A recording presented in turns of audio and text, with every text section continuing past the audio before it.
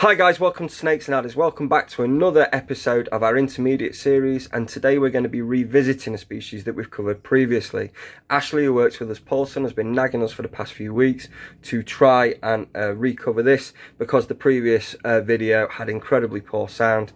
Uh, we've subsequently kept and bred the species for another three years. It's given us a greater level of insight and it's probably going to be useful to recover it with the same depth that we have been doing with our other more recent episodes. Over time, of course, we'll revisit other stuff as we get them and uh, improve uh, the videos that we once put out. So we'll sort of uh, recycle and reuse and improve. So uh, this is the false water cobra, aka the Brazilian smooth snake, whose scientific name is Hydrodynastes gigas. Hydro, water. Dynastes prince, gigas giant, the giant water prince, roughly translated. First described by Dumeril Bibron and Dumeril in 1854 as Xenodon gigas. Uh, Xenodon uh, means roughly strange tooth, Xeno strange, Odon teeth, uh, and gigas obviously giant, so the giant strange tooth snake. This is in reference to a pair of enlarged rear fangs, um, similar to a lot of things that we'll see, like whether the hog noses or, or uh, the Barons racers, where you know there are uh, mild venoms, Duvernoy's gland, which develops a special um, saliva that helps to um, in incapacitate the prey that they take. Now, um, the genus Hydrodynastes was first used in 1966 by Hoge. The species has then bounced between two genera, Cyclagras and Hydrodynastes, but has remained in Hydrodynastes since 1999. So it's pretty pretty sure that we're, we're going to be staying in Hydrodynastes for the time being. Hydrodynastes traditionally was part of the Xenodontidae, harking back to the Xenodontid reference a minute ago, as the Xenodon reference given a moment ago um, meaning the strange tooth. And this then makes it a cousin of the mock vipers. And this, of course, is a mock or false cobra, Xenodon merremi, which occurs in similar conditions. And then there is the pseudo Xenodons, which look very similar, almost convergent evolution, but they are Asian or Chinese. So it, it, it all sort of ties in. Now, Xenodontidae has been made uh, synonymous with Disapsidae, um, but for the purposes of this video and the little segue that we can have to um, Xenodon, I'll use Xenodon today as my descriptive term rather than Disapsidae. Um, there are three recognised species of Hydrodynastes. Hydrodynastes bicinctus, which is Hermann's water snake, which can be seen here, and that has a type locality of Para in Brazil, namely Belém, and then up into French Guiana and Suriname. And then there is a newly described species called Hydrodynastes melanogigas, which is uh, the black false water cobra, which occurs in, what is it, Toc let me pronounce it right. Ah, Tocantins, Brazil, which is here. Now, there is registered um, records where the false water cobra has occurred throughout all of this region. But when I was looking at the the density of uh, animals found, they occurred mainly in this region, and it does tie in if they're from this region with the way that we keep them in captivity. So more than likely, our animals are from this region. As you can imagine, that is quite a span, and from Belém down to the type locality of the false water cobra, Hydrodynastes gigas, which is the third species, is Corrientes in Argentina. That is a distance uh, by road of 4,000 kilometers or just under. That's a hell of a long way. And because of this, huge changes in the way that the climate behaves locally for these snakes is to be expected.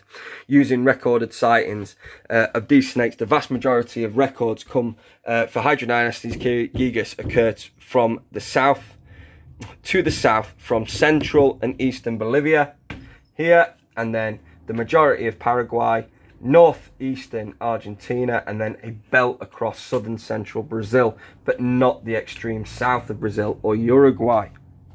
So, uh, from this section, we've then picked four locations to see what happens annually to local climates in macro view. This, of course, is not the local microclimate, but it will help inform us in some way of what the animals face. But we'll cover this, as always, at the end of the video. False water cobras are semi-aquatic snakes which specialise in hunting amphibians and fish, but they will also take mammals, birds, and other reptiles, including snakes. They're adept swimmers and and they're very good climbers as well. And they also have a very clever trick which they do with their tail, which I watched a video of actually a few weeks back, maybe a couple of months back, where um, they whip their tail into the long grass and reeds, which startles and scares and spooks the animals hiding in there out, and then they trap them. It's an incredible use, and it's like we see caudal luring in things like green tree pythons, but this isn't caudal luring. This is like caudal whipping to be able to scare animals out and then feast upon them, which is an incredibly cool and innovative technique to, for this snake to use. Facially, there are certain features, particularly with youngsters, that hark back to the Thamnophis, which is the garter snakes and ribbon snakes, Nerodia, which is the American water snakes, and Natrix, which is the uh, grass snakes and dice snakes of Europe.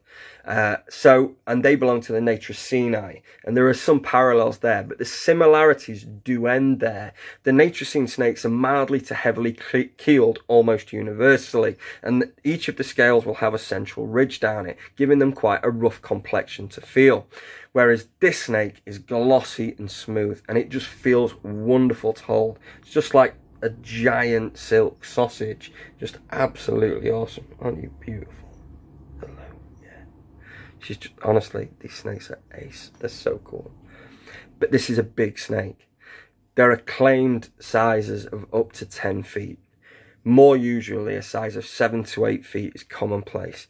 Because these animals are such great feeders, obesity is a real concern.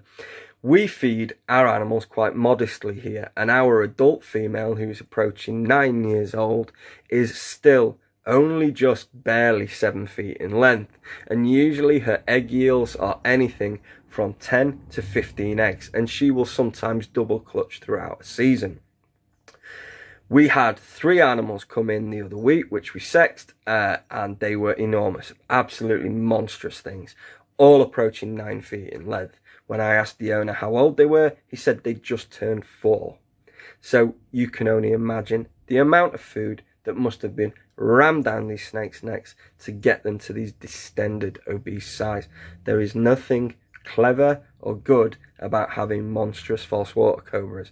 Our female is tame. In fact, she's so tame that when we did the pointers to look for on a healthy snake, it was the female false water cobra that we used because she is so relaxed around humans and is happy to have people looking in her eyes and opening her mouth and which is all the stuff I did when I was doing the confirmation points on the snake. So it's not, you know, I'm not just saying that like she's what one a lean false water cobra and two incredibly tame be careful because they're such ready feeders. You don't need to go mad. Just take it steady. Yes, they have a relatively fast metabolism, but there's no need to just get crackers with it. it you're only going to foreshorten your snake's life, and that's a serious warning because obesity is a killer. In captivity, this isn't a particularly needy snake. They're, they're, they're absolutely straightforward to raise the one thing that I would say about them is they seem to shun higher temperatures. They do not like being too warm, which again makes me think that they are these animals originate that we keep in captivity from the southern part of the um, the uh, distribution map because this is in keeping with the climate in that area. Basking opportunities should not exceed 30 degrees Celsius, and many keepers have a top end temperature of only 28 degrees Celsius, and then allow them to cool down from that. Um, 30 degrees, they may find you may find that they rarely bask or that, or that they go that far up that end. So you do have to be careful, and certainly a, a water container that they can cool down in down the cool end would be a welcome escape from this if you were going to go up towards 30 degrees.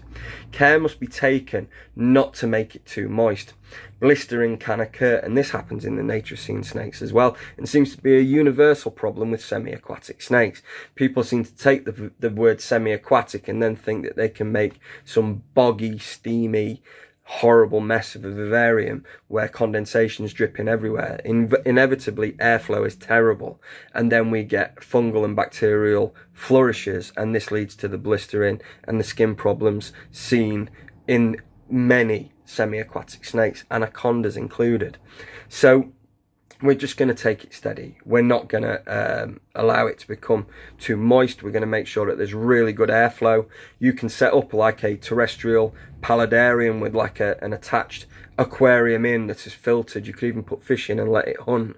But it, when it comes out to dry off, it must be allowed to dry off underneath a basking light and be able to have good airflow that stops condensation from forming with such a volume of water being in the enclosure this can be a difficult balance. So actually, it's sometimes easier to just keep these as a standard terrestrial snake with a water bowl that they can take a drink from and just a regular tank that we're going to spray when they come up to shed their skin like your substrate would be orchid bark, which was allowed to be relatively dry most of the time. And when we see the shed cycles coming, we're going to give them a spray. The great thing is this doesn't seem to be a particularly weak snake either, so we're not going to be getting any um, pneumonias or colds or upper respiratory infections. And those cooler temperatures as well make them hardy. This is a really quite bomb-proof snake. For a semi-aquatic snake, that's rare to say because things like the Xenodon merremi can be an absolute nightmare to raise, and the pseudo Xenodon's even worse.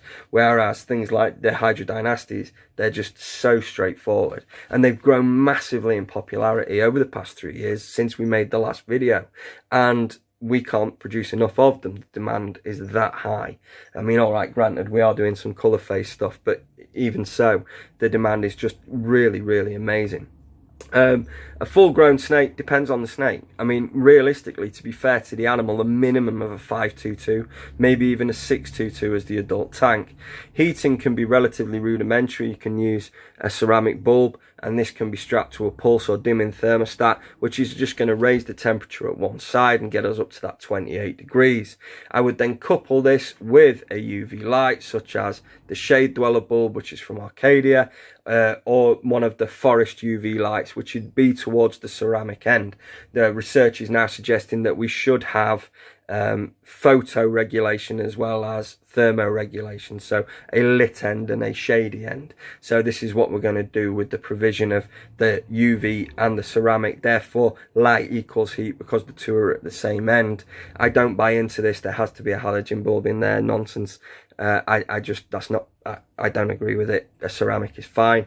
Uh, a deep heat projector uh, or a couple of deep heat projectors from Arcadia would also be fine. Be careful because they're not quite as effective at uh, keeping it, the air, air warm, whereas they're great at warming surfaces. So just be careful. I'd keep an eye on them and carefully study them. Um, the temperature is, is relatively buoyant throughout the 24 hours. We don't need to go during the standard year. We're only going to manipulate the temperatures gently for uh, breeding and cycling. Plenty of cork bark, plenty of logs, um, a decent sized water bowl, but not necessarily for bathing. As I said, we keep them as a terrestrial snake. If you want to keep them semi-aquatic, fine. But be prepared to do a lot of testing prior to getting your snake to make sure that it all works properly without condensating and becoming ridiculous to look after and make sure uh, that we've got access to the filters and that the filters are capable of processing an eight foot snake's turds because they are substantial after they've eaten their adult rats. Um, breeding happens uh, annually. Uh, we regularly get a second clutch. This is without the reintroduction of the male. She will just, if she's ready, will ovulate and have another litter. It's her choice. We don't really get much choice in it. We just try and keep her balanced with her food to make sure her weight stays buoyant. Um, we've had litters of maybe 10 to 17 eggs, but the literature states that this could go up to 30 eggs, and this is obviously reflective of having the bigger 8 or 9 foot uh, examples, which will have bigger yields and bigger eggs.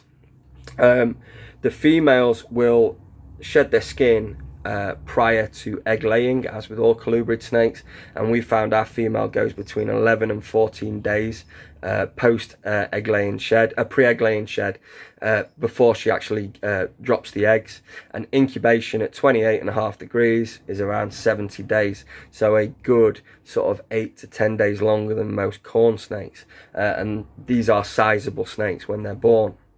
Now, we'll cover, let's have a look at, this is a two-year-old girl that we've been slowly and steadily raising. And then this is a brother or sister from this season. And this animal has only shed its birth skin, it hasn't fed yet. So they are quite sizable as babies when they first come out of their parent, uh, sorry, of the egg. And it's, you know, be careful when you're buying them that if you're buying them at this size, you may well just be buying a hatchling. So make sure you get feeding records with them to prove that they've been eating. But straight out of the egg, the babies we produce are wonderful. There's no aggression. They're fabulous. Absolutely fabulous. I've got to put you back in your box while I finish this video. Thank you.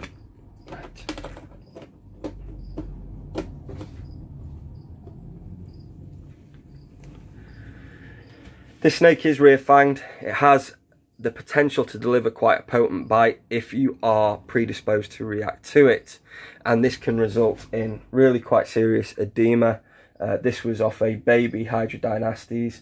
Local swelling after 25 minutes, continued to inflate, caused stiffness of the joints, bled a little more than usual, uh, and obviously the internal bru bruising and the retained fluid. I've been bit by false water cobras on multiple occasions and I just bleed a bit. I don't even swell up. I don't particularly feel any pain from the bite itself. So it is definitely down to the individual. But we can't understate the fact that you could react to it. And I don't know whether you're predisposed. So we've got to put that in there. And whilst I'm talking about the wonderful temperament that these snakes are displaying and the stock that we have and just how wonderfully tame and great they are. There, there are animals that are uh, really quite grumpy and very aggressive. So my suggestion would be to get animals from an early age and work with them regularly. Um, just I mean you don't have to get them out every day. This girl probably only comes out once or twice a week but she just has five minutes and it just keeps her in the loop and she knows who we are and she's not going to react too badly so, climate notes. Let's have a look. Right. We have picked four different regions. We've picked the Gran Chaco in Paraguay. We've picked Santa Cruz in Bolivia. We've picked Salta in Argentina and Belo Horizonte in Brazil. We've taken the daytime highs and we've taken the average across the four. Uh, I'm working from January onwards. Obviously, this is the southern hemisphere, so their winter is our summer. 30.3, 30, 29, 27, 24, 23, 23, 26, 27, 29, 29 and 30. So we see that represented here with a pretty obvious winter between May and August. Then nighttime lows 20, 19, 19, 17, 14, 12, 11, 13, 15, 17, 18 and 19 and that parallel for our nighttime lows, which maybe just drop off slightly more keenly in winter, taking us down to that sort of 12 to 14 degrees uh, Celsius, which means that there would be, you know, a slowdown, not necessarily a full brumation. There will be surfaces that still reach well in excess of 20 degrees for them to bask upon, but maybe hunting uh, opportunities aren't quite as as regular and just a general slowing down. And it's only for a couple of months, and we can mirror that quite easily in captivity to then have a period of no feeding, slightly cooler nights, slightly cooler days, just three, I don't know, three or four degrees off. Just a steady decline is enough to trigger the breeding activity, and that happens. And you'll find that there's a natural attrition to the room temperature that the animals are kept in anyway in winter. So this kind of helps you. So you might find that they even cycle themselves. Uh, rainfall. So we have a very defined uh, wet season and cool season. Uh, again from the same regions. So these are measurements of millimeters of rainfall per month. 73 mil, 61, 48, 29, 17, 10, 5. In fact, in Belo Horizonte, Brazil, there is three months of less than one mil per month rainfall. So very much a drought season. And then back up to, uh, where are we? 2.5, 11.8, 27, 48 and 82. So we can see, one, the seasons for day and night, And as we hit winter, that is also the drought patch for the year. So that summer high is where the most moisture is. So we could maybe incorporate them drying out in that winter period when we're not feeding them and it starts to cool down. You know, and that, that will also act as a natural trigger there's a lot of variability in false water cobras and you seem to get different colours like the little normal that I showed you which was those lovely chocolate browns and chestnuts. This is what we would call a king's phase which was this colour when it was born. Sadly they do golden out and you can see the yellows on the sides are still very pretty but we're starting to get this goldening off now. Um, but even so she's still absolutely wonderful. From our uh, pair that we breed each season. We get the normals, we get the hypos, we get these wonderful red hypos, and then we get the king's phase. Um, king's phase is one that we we found out was called that by a guy called Rick Pellin, who had previously been breeding them. And uh, I mean, to me, they just look like a super hypo, but because the colour isn't retained brilliantly, there's something going on. You need to have one of these snakes to produce those colours. Um, but as for the long-term coloration that they do they do uh, uh, brown and golden off. They're still prettier than a standard falsie but you know they're not uh, they're not as bright as they were when they were born. And this season excitingly we've produced some high orange ones which are absolutely amazing. And then there's things like lavenders and stuff that people are working with. And there is the US hypo which is unrelated to the UK hypo. It's all kind of up in the air um, but they are simply wonderful snakes um, that are a great next step species. This is a lot of snake. They can be reasonably boisterous. They have great appetites. They're strong and they can be quite intimidating. They're willing to hood readily. Now, they hood the same way that a rat snake might rattle its tail. Now, a rattle of its tail means, oh, I've just noticed you here and you've, you, have you have scared me a bit. It doesn't mean that it's a precursor to being bit. If a false water uh, cobra hood, thank you, nice. Is there really a need? Listen to that. This is These are the only species of snake that I know that fart. Like proper bum clapping trumps. It's disgusting, man. What are you doing to me? In the middle of a video. What you like? Never work with children or animals, eh? What was that all about? That was unnecessary, wasn't it? A false water cobra will hood the same way that the rat snake rattles its tail. It isn't a precursor to being bit, but it's very good at putting people off. People associate that hood with being bit, and obviously the venomous cobras. Um, and really, that apprehension is is uh, you know that it's sometimes quite often it's unfounded. You're going to have a perfectly tame snake once it's removed from its enclosure and it's allowed to calm down. Um, and as you can see i mean the compliance level on this snake is just perfect. Even if you are trumping and weighing you horrible animal hey do your research. Obviously we'll try and make these available for you as well. Fantastic fantastic snakes. But you could react to them if bitten bear that in mind. And you're going to need a lot of space for one of the, them when they're fully mature. These are large snakes. I hope you enjoyed the video. I hope it was improvement on the first one and you got a lot more from it information wise. We'll see you again soon and we'll try not to leave it three months this time. Cheers guys. Bye.